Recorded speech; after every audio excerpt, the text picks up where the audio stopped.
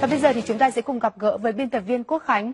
Anh Quốc Khánh này dư luận à, thể thao trong nước những ngày qua nói rất nhiều đến huấn luyện viên Miura và ngày hôm nay thì tôi đang chờ đợi một góc tiếp cận của thể thao chuyển động 24 giờ về nhân vật này như thế nào ạ?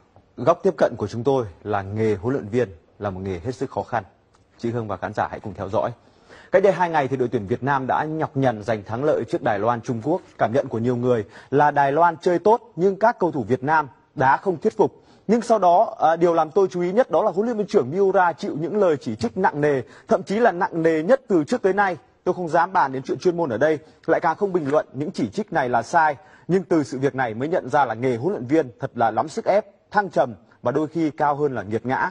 Trong số những chỉ trích nặng nề nhất trên truyền thông ngày hôm nay thì người ta chú ý thấy ở đây có nhận xét của ông à, Phó Chủ tịch Liên đoàn bóng đá Việt Nam Đoàn Nguyên Đức, đó là còn ông Miura thì bóng đá Việt Nam sẽ không phát triển.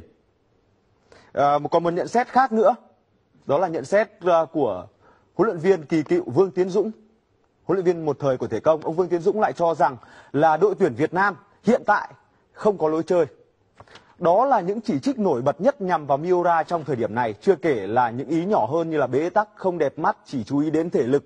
Nhưng bây giờ hãy lùi lại thời điểm cách đây à, chưa đến một năm đâu. Đó là ngày 25 tháng 11 năm ngoái, đội tuyển Việt Nam bước ra sân trong trận đấu gặp Philippines tại Cúp AFF ngay trên sân Mỹ Đình. Đội hình ra sân ngày hôm đó như là chúng ta sẽ thấy ở đây, đó là một đội hình giống hệt với trận gặp Đài Loan Trung Quốc hôm vừa rồi. Chúng ta sẽ thấy ngay ở đây thôi với Hoàng Thịnh, Minh Tuấn, Công Vinh, Văn Quyết, Huy Hùng, Thành Lương, Xuân Thành. Chỉ có một thay đổi duy nhất đó là Thanh Hiền thay cho Phước Tứ ở hàng phòng ngự.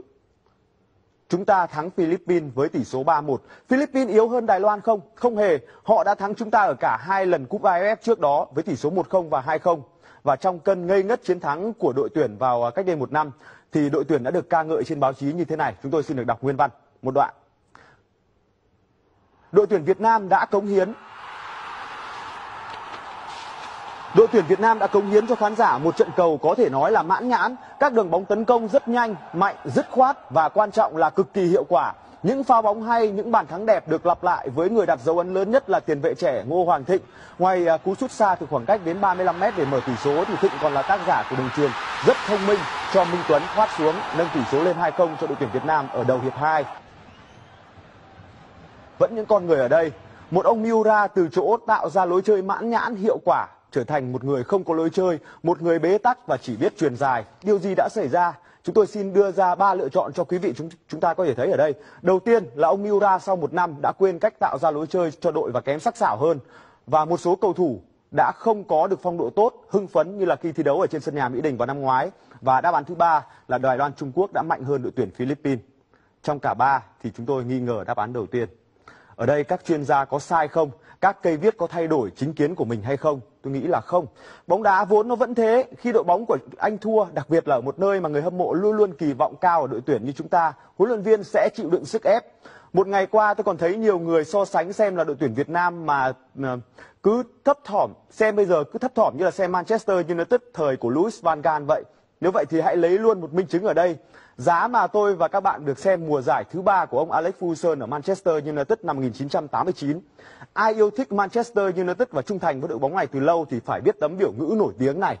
Chúng ta sẽ thấy ở đây, các cổ động viên đã răng nó lên khán đài vào năm 1989 khi mà Manchester United của huyền thoại Alex Ferguson thua trước Crystal Palace trên sân nhà.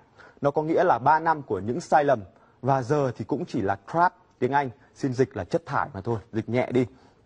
24 năm sau, ngài Alex Ferguson chia tay với một bức tượng ở trước sân Old Trafford. Nhưng ông Louis van Gaal đừng lấy làm điều lấy điều này ra để tự động viên mình. Ông hãy nhìn vào David Moyes. Sự kiên nhẫn giờ là thứ rất là xa xỉ cho bóng đá. Trở lại với ông Miura, thắng hay thua, chúng ta có thể khen lên mây hoặc cả chê ông thậm tệ. Đó là bóng đá, nhưng có những thứ thuộc về định lượng cụ thể. Chúng ta phải công bằng. Với Miura, các đội tuyển Việt Nam chưa bao giờ dậm chân tại chỗ cả.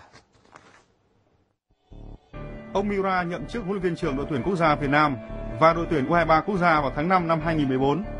Khi đó, bộ máy lãnh đạo của Liên đoàn bóng đá Việt Nam vừa bắt đầu một nhiệm kỳ mới với di sản để lại là thành tích chạm đáy.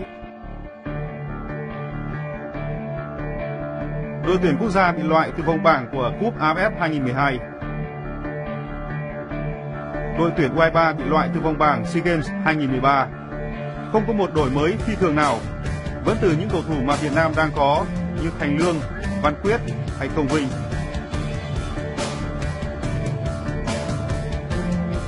Đội tuyển quốc gia lọt vào bán kết cúp AFF 2014. Đội tuyển U23 có tấm huy chương đồng tại SEA Games 2015, dù không vui tròn vẹn nhưng nhiều cảm xúc. Đội tuyển U23 Việt Nam lần đầu tiên lọt vào vòng 2 của Á vận hội sau khi thắng cả Iran và Kyrgyzstan. Cũng dưới sự dẫn dắt của huấn viên Miura, đội tuyển U23 Việt Nam lần đầu tiên vượt qua vòng loại của giải vô địch U23 châu Á. Vâng, quý vị có thể sẽ dễ dàng tìm kiếm trên Google những chiến thắng vừa rồi gắn với những từ như là kỳ tích, rồi phi thường, rồi là lịch sử. Nhưng biết đâu đấy, tháng 10 tới đây đội tuyển Việt Nam không vượt qua nổi đội tuyển Thái Lan. Một điều rất dễ xảy ra trong thời điểm này vì ai cũng biết là đội tuyển Thái Lan đang rất mạnh. Ông Miura có thể bị sa thải vì sức ép và một người khác sẽ lên thay thế để rồi sẽ lại tận hưởng những vinh quang và những cay đắng của đời huấn luyện viên bóng đá. Và tôi thì còn đang quan tâm đến một điều là ông Miura, ông ấy đang nghĩ gì trước những sức ép từ truyền thông của Việt Nam vào lúc này. Một câu hỏi hết sức thú vị và tôi cũng đã từng câu hỏi câu hỏi này với ông Miura vào ngày mùng 5 tháng 4 năm, năm vừa rồi và chúng ta hãy cùng xem trong đoạn kết của phần thể thao ngày hôm nay xem ông Miura đã trả lời câu hỏi câu này như thế nào. Hãy cùng xem thưa quý vị. Trên giải đấu đã có rất nhiều chỉ trích ông và đội tuyển. Ông có đọc hay nghe được những lời này không? Chỉ trích ư? Thực ra thì tôi cũng có những lợi thế về vấn đề này. Tôi không biết tiếng Việt, nên tôi cũng không đọc những bài viết đó.